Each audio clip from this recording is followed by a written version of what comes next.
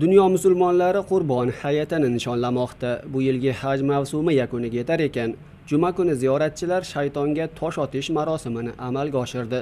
Mino yaqinidagi jamarotda musulmonlar maxsus devorlarga tosh otib ramziy ma'noda shaytonni jazoladi.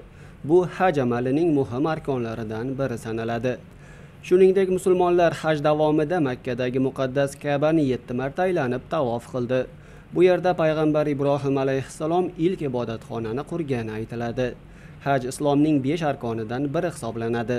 Sog'lom balog'atga yetgan ozod va boyligi yetadigan har bir musulmonga umrida bir marotaba haj qilish farz. Saudiya arabistoni bergan ma'lumotga ko'ra besh kunlik haj ziyorati uchun butun dunyodan ikki butun o'ndan uch million musulmon kelgan.